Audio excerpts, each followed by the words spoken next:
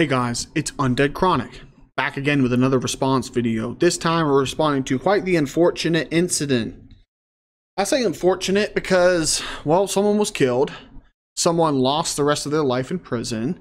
Um, and there's three daughters that are going to grow up with uh, no parents involved. Yeah, it's kind of a messed up story. But the title of this article, guess gotta go into it. Utah man sentenced to 30 years in death of his wife on a cruise. Now let's read this uh, title here. Husband is jailed for 30 years after punching wife to death in front of their three kids on a cruise to celebrate 18th wedding anniversary before blaming him, for blaming her for laughing at him. So yeah, we have a couple on a cruise. Uh, I think they were like in their 40s. Yeah, Kenneth, 43, and his 39 year old wife, Christy. So mid 40s American family with three kids. They decide to go on an Alaskan cruise for their anniversary. Isn't that so such a nice little, you know, little American family, Utah, going in for a cruise.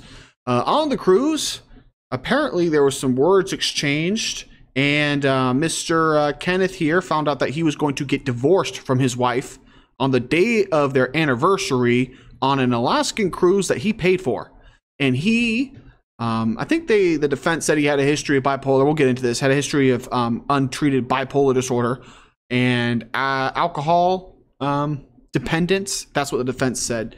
Uh, lost his shit. He just lost it, and he beat his wife to death in front of their kids. So wow, uh, there's a lot that can be learned from the situation. So let's just get into it. Before I do, if you guys want to support the reporting of marital violence on Alaskan cruise ships on every Friday, consider donating to paypal.me slash the chronic feminists I will not stop until every single incident of marital murder on an Alaskan cruise ship has been covered on this channel. So if you guys have any stories, just hey, hit me up with that. You know, we can make a series about it and why you shouldn't take your wife to a, or why, why, why if your husband wants to go on a, a cruise to Alaska, you should ask these ten questions first. oh, oh, I feel bad for the girl though. Um, yeah, I feel bad for um Christie, yeah, Christie didn't deserve to get beat to death, but let's read the, the image here. Kenneth Manners, 43 from Utah, was sentenced to 30 years in federal prison, followed by five years of supervised release on Thursday. He pleaded guilty in February 2020 to the second degree murder of his 39 year old wife, Christy Mazanis, pictured together on the left, in July 2017. So it took this guy three years to get to trial. Oh my goodness. So, like, he killed his wife in February 2017 and then it took him or July 2017, and then it took until February 2020 to get you know a, a guilt. He pleaded guilty. This didn't even go. Did this go to court? We'll see. Um, Mazarnes beat Christie to death on board the Emerald Princess cruise ship on the right, where they were celebrating their anniversary with their three daughters and extended family. Okay, just a word of it. Just this is interesting. If you are going to divorce your husband if you're going to divorce your wife, if you're going to divorce your partner, that is something that needs to.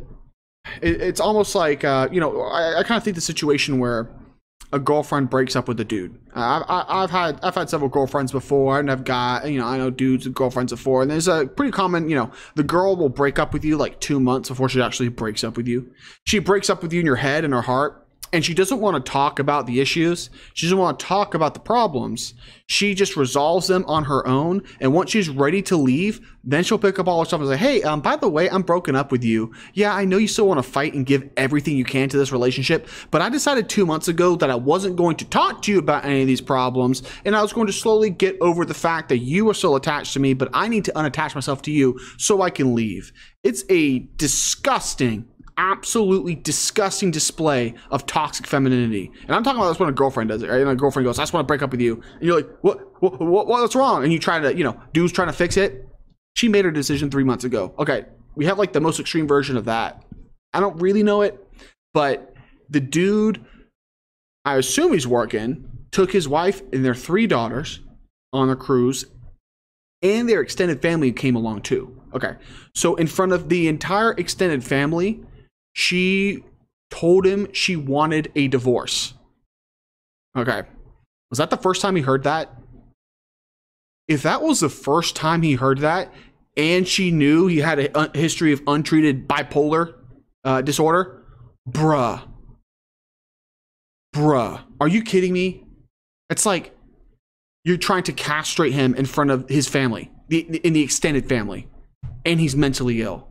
This is this chick pulled this chick picked the worst time to try to use the family court to ruin someone. Like it's just like the dude's um, alcohol dependent, bipolar, in front of his children and their extended family. She goes, "I want a divorce," and then he beats her to death. Yikes. Yeah, I mean, like the same what should have happened here. She should have just told him I wanted a divorce in an email, and then she could have um, she could have used the entire U.S. police military complex to smash this guy into pieces. But she decided she wanted. Uh, you know what? It might have been. I, I think it was. It, it, the thing is, is that this was planned, or was it like a spur of the moment emotional thing? In terms of her choosing to tell him to get divorced. If it was planned, I'm going to tell this guy I want to divorce him on a cruise he pays for in front of our kids on the day of our anniversary in front of my extended family. That's what I'm planning to tell him I want to divorce him. Uh, that's a very different type of woman than one who just goes, I can't handle getting slapped around like a rubber chicken. I can't handle this dude drinking all the time and all this horrible abuse he does. I, I want to divorce you. Right, those are two completely different women. One is cold and calculating, trying to make the divorce announcement as painful as possible, and the other one's just trying to escape a, um, you know, an abusive situation. But uh, we can start reading the article here. we go where they were celebrating the anniversary of their three daughters and extended family. The couple got into an argument where Christy said she wanted a divorce. Two of the daughters heard their mom screaming and saw their father pounding her head with closed fists. He then tried to throw her overboard. Yeah, um, there's not really any defending the dude in this situation. Obviously, he murdered his wife and then tried to straight up throw her off the cruise boat. But let's see if we can uh, parse some details out of here. By Becky. Juneau, Alaska. A Utah man was sentenced to 30 years in prison, with a federal judge describing the crime as violent and brutal. Can you tell me, Mr. Federal Judge, a beat a, a, a death by beating that isn't violent and brutal? I can't stand it. Like just like this this this woman who was beaten to death was done so in a violent, brutal manner. Okay. Can you show me a gentle way to beat someone to death? Actually, don't don't Ooh. I'm not asking to be tied up with some big titty redheads to come out and to beat me off to death. Although James Bond Maxwell would be very jealous if that was the case. No, I'm just I'm just tired of these feds, these federal judges. It's a brutal crime. Someone was killed. It's a hate crime because someone hated the person they killed. Oh, get out of here.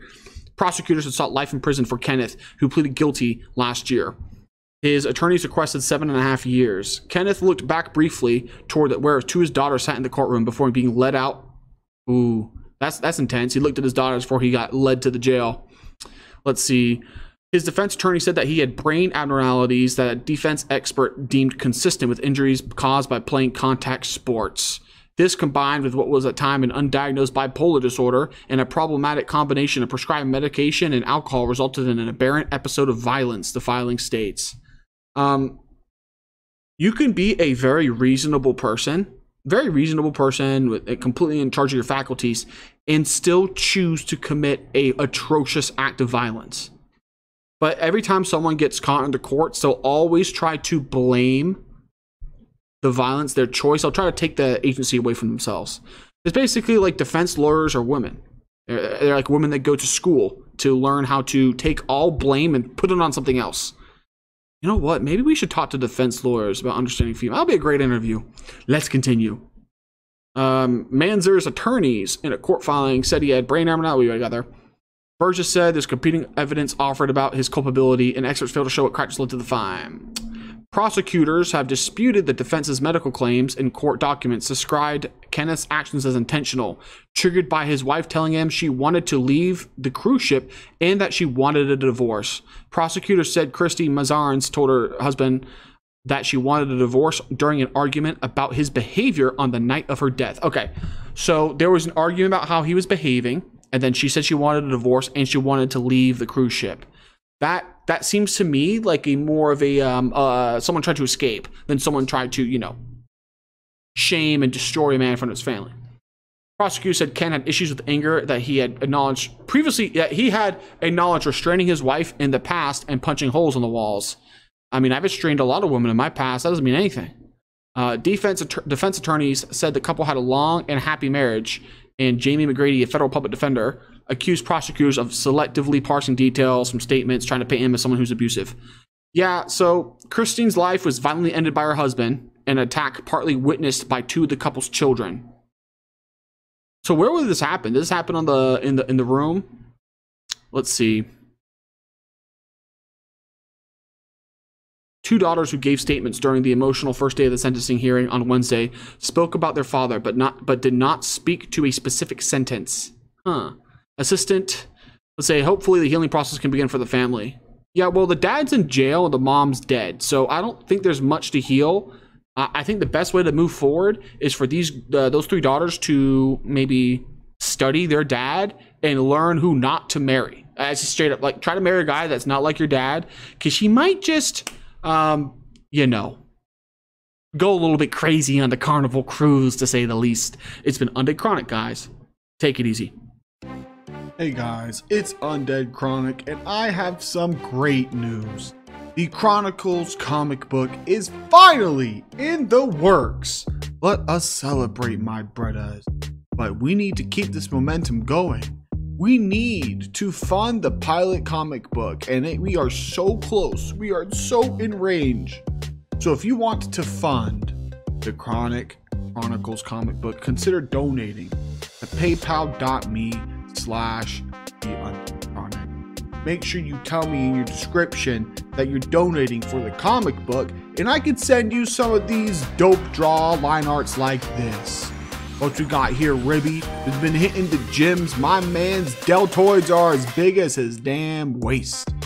But Chronic, wielding the sword of Red Pill, is here to cut through the cucks. Now, the pilot for this comic, the first comic for the Chronicles, is uh, the escape from the Google Gulag, where Ribby is going to help Chronic bust out of the censorious prison. Um, you know, slay some cucks, roast some feminists, all that good kind of stuff. So again, if you want to fund this comic book, consider donating at paypal.me slash the undead chronic. We gotta keep our artists blazed, my boy.